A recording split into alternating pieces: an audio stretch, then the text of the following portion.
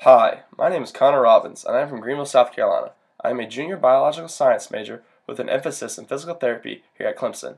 I hope to enter into a physical therapy degree program after college while working as a physical therapy assistant to further my education in the field.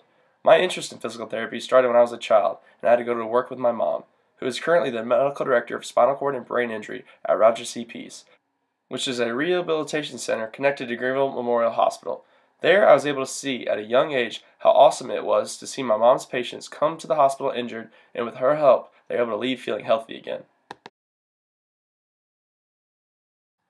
There is a large importance for physical therapists to be effective in technical writing for communicating with other medical practitioners, such as doctors, nurses, other physical therapists, and insurers. Other medical practitioners can see previous treatment plans that can help infer what type of medicine or treatment plans they themselves may use on the patient. For insurers, they require physical therapist documentation for the necessity of physical therapy for the patient, reasonable time frame for physical therapy goals to be met, and why other medical practitioners couldn't do the same job. The mnemonic device SOAP is used to sum up the details that go into physical therapist documents.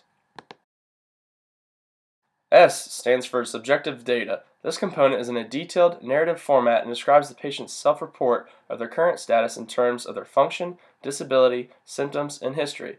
It may also include information from the family or caregivers. It allows the therapist to document the patient's perception of their condition as it relates to their progress in rehabilitation, functional performance, or quality of life.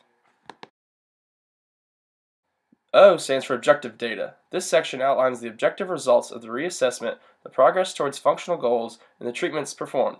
It should include details of the interventions, including frequency, duration, and equipment used. The therapist should indicate changes in the patient's status, as well as communication with colleagues, family, or careers. A stands for assessment of the patient. This is potentially the most important legal note because this is the therapist's professional opinion in light of the subjective and objective findings. It should explain the reasoning behind the decisions taken and clarify and support the analytical thinking behind the problem solving process. Progresses towards the stated goals are indicated, as well as any factors affecting it that may require modification of the frequency, duration, or intervention itself. P stands for plan for the patient. The final component of the note is used to outline the plan for future sessions. The therapist should report on what the patient's home exercise program, also known as HEP, will consist of, as well as steps to take in order to reach the functional goals. Here is an example of a SOAP note in which a woman came in complaining of having constant lower back pain that occurred suddenly when she stood up from a chair.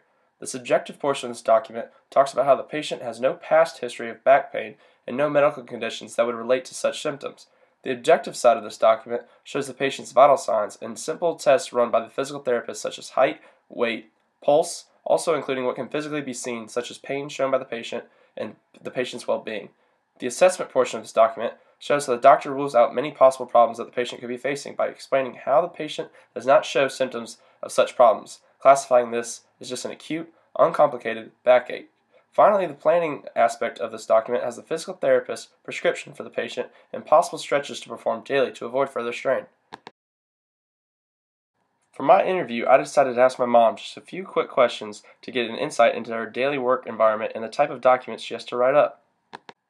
What kind of technical documents do experts in the physical therapy field make? Her response was daily reports of progress and functional independent measure, also known as FIM, with a score of 1 to 7, with 1 being completely dependent from mobility, 3 being that the therapist is doing 50% of the work, while the patient does the other 50, and 7 being completely independent. The functional independent measures are monitored and compared weekly for improvement or decline.